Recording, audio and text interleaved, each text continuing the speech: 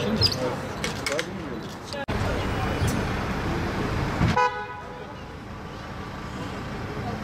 Üç Eylül'den bu yana HDP il binasının önünde haklı bir mücadele başlattık.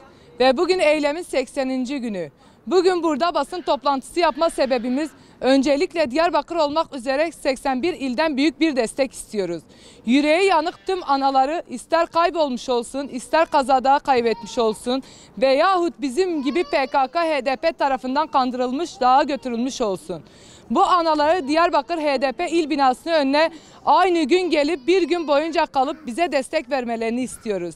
Burada analar sadece kendi evlatları için değil, 40 yıldır akan gözyaşlarının intikamını ve gidecek olan gençlerin önünü engellemeye geldi. Korkmayın. HDP, PKK, KCK gibi terör örgütlerinin tehditlerine boyun eğmeyin. Gelin burada gözyaşlarıyla değil, şu dalgalanan sancağın altında zafere imza atalım. Türkiye'nin 81 iline buradan sesleniyoruz. Gelsinler buraya bize destek olsunlar. Kaçırılan çocuklarına gelsinler burada sahip çıksınlar.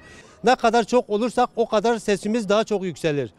Bütün aileleri buraya istiyoruz. Esir asker aileleri, esir polis aileleri hepsini buraya bekliyoruz. Allah'ın izniyle bizim çocuklarımız inşallah bize geri gelecektir. Artık PKK terör örgütünden kimse korkmasın.